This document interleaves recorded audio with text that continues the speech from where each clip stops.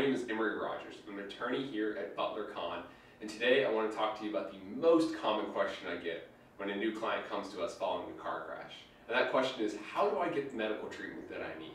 You know, after a car crash, it's a very confusing time. There's a lot of chaos, there's a lot of unknowns, and getting that long-term care isn't the first thing that's on your mind.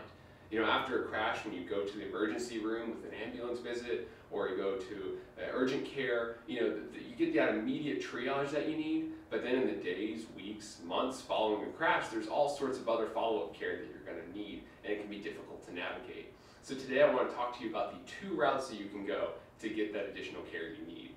The first route is through your health insurance.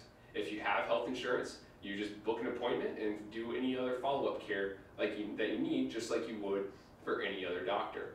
Um, it can be a little bit difficult sometimes because you know the specialist who you need to see might not be in your area or they're only available six months from now or there can be a whole host of other problems. But really, it's pretty straightforward just like any other, any other provider that you need to see. Now, with car crashes, it can be a little tricky as well because the insurance company might be entitled to what's called subrogation. Now, subrogation is just a way of saying reimbursement.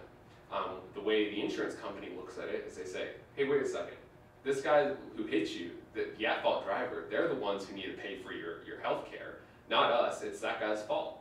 And so subrogation is a way of saying, uh, you need to reimburse us for what we paid, and that guy needs to pay for it. But again, it can be a little tricky because depending on the plan language and how it's written out, depending on whether it's governed by state law or federal law, they might not be entitled to that reimbursement, that subrogation. So giving an attorney a call, we can help walk you through it and really understand the process and, and figure out what's owed and what's not owed. Now the second route you can go is um, you treat under what's called a letter of protection. Now, if your health insurance is just straight garbage, you don't like the doctors in your network, uh, you, know, you can't be seen for a while, your deductibles are super high, there's a whole host of reasons of why you might not want to use your own health insurance.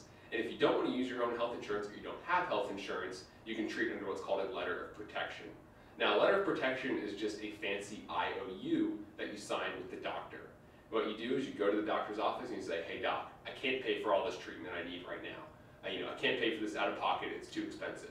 But what I will do is I'll pay you with any proceeds that I get from either my settlement after my car crash or from the jury verdict that I get following my car crash.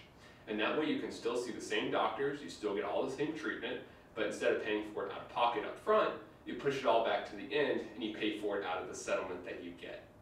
Now, this is an easy way to go, and a lot of clients like to use this um, because it delays uh, the medical providers from sending you to collections. They can't send you to collections while you're working under a letter of protection.